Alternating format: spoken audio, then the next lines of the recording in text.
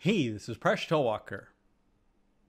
Years ago, Business Insider ran an article on 15 banned Google interview questions. The title caught my attention, and one of the interview questions was a riddle. Perhaps you can see why it was banned. In a fictional country in which people want to have boys, every family continues to have children until they have a boy.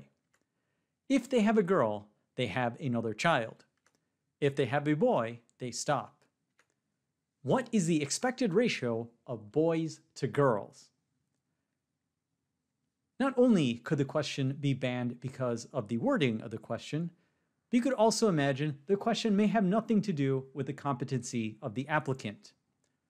But I do think there's an interesting mathematical question hidden in this problem. So let me rephrase the question. In a fictional country, a king performs an experiment. Every subject is to flip a coin until the coin shows a heads. If the coin shows a tails, they flip again. If the coin shows a heads, they stop. What is the expected percentage of heads in this experiment? So what is your intuition about the problem? When I first heard it, I thought surely there will be many more tails than heads in the experiment. After all, each person is flipping until they get one heads, but many people will be flipping many tails. So surely the number of tails in the experiment will outweigh the number of heads. Because my intuition was wrong, I did the calculation and fell into a common mistake. So let x be a random variable to denote the event. So one possibility is people could just flip a heads on the first try. What is the probability of that event? Let's assume a fair coin, so this happens with a 50% chance. Now the number of flips so far will just be one. Now if a person doesn't get a heads on the first flip, then you might get a head on the second flip. So it would be a tails and then a head. The probability that this will happen will be 0.5 times 0.5, which is 0.5 squared, and this will be two flips total. We might also have two tails and then a heads. This happens with probability 0.5 raised to the power of 3, and this will happen for three flips. We could also have three tails and then a heads. This will happen with probability 0.5 to the power of 4, and this will be four flips. We could also have four tails with a heads, this will happen with probability 0.5 to the power of 5, and this will be 5 flips. So I thought about truncating the calculation at this point. How many heads are there to flips in this experiment? I thought that we have five different events, so the total number of heads will be 5. How many flips are there in total? We have 1 plus 2 plus 3 plus 4 plus 5, which will be a total of 15 flips. So it would seem the number of heads to the total number of flips will be 5 over 15, which is one third. But this approach is completely and totally wrong. What we haven't taken into account here is the probability of each of these events happening. If we just count the number of heads divided by the total number of flips without taking into account the probability of each event, we have definitely come up with a biased estimator. So this answer is wrong. It actually turns out the correct ratio of heads to total number of flips is 50%. So let me explain why that's the case. We need to adjust our calculation by the weight of each event. So let's adjust this table to take into account the probability of each of these events happening. Suppose we have 800 subjects in the kingdom. How many of them will end with one flip that has heads? This will be 800 times 0.5, which will be a total of 400 subjects. Half of the subjects will end the experiment in just one flip because their coin will show heads. Now let's do the same thing for TH. This will happen for 0.5 squared of the subjects, so it'll be 800 times 0.5 squared, which will be 200 people on average. We can then go to the next event, we basically divide the number of subjects we just had by two. So this will be 100 subjects. Then we go to the next event, we divide by two so that we have 50 subjects who end up here. And finally, in this event, we divide by 2, so we have 50 over 2, which is 25 subjects. Now let's consider the number of flips in each event.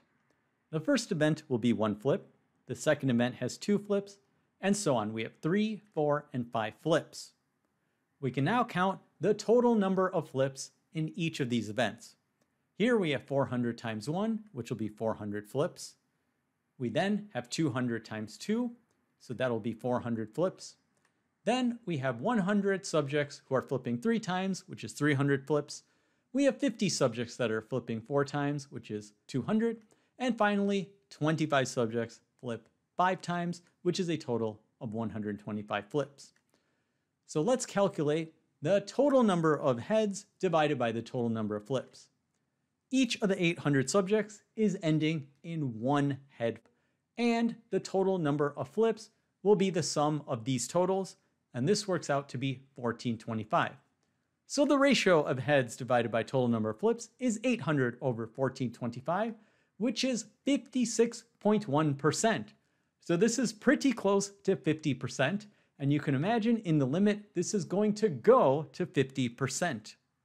So let me give an intuitive reason why the answer is 50%, and then I'll go over a rigorous proof. So imagine we have 800 subjects. What happens when everyone flips a coin? 400, which is half of the subjects, will flip a heads and stop. The other half will flip a tails and continue. Now, after one flip, how many heads are there versus total flips? Well, half of the flips will be heads, so 50% are heads. Now, the 400 subjects that flipped a tails will have to flip again. So of these 400, half of them will flip a heads and stop, and the other half, which is 200, will flip a tails and continue flipping. So now consider the number of heads that are flipped in this round out of the total number of flips in this round. We obviously have 50% of the flips will be heads again, now consider the 200 that need to continue flipping. Half of these will flip a heads, which is 100, and stop, and the other half will flip a tails and still have to continue flipping. In this third round of flips, once again, 50% of the flips will be a heads. So if you look that every round has 50% of the coins showing a heads, it is obvious that 50% of the coin flips on average will be a heads. And this is the reason that intuitively we can see 50% of the flips will be a heads. But now let's prove this rigorously. This is actually a fun little mathematical calculation. Imagine there are n subjects. Half of the subjects will flip a heads and stop. This will be 0.5n. The other half will flip a tails and continue flipping. Of these, half will flip a heads and stop. So it'll be 0.5n times 0.5, which works out to be 0.5 squared n. The other half will flip a tails and continue flipping. This will be 0.5 squared n. Of these subjects, half will flip a heads and stop, so we have 0.5 to the power of 3n, and the other half will flip a tails and continue flipping. Then half will flip a heads and then they will stop, and the other half will flip a tails and they will continue flipping.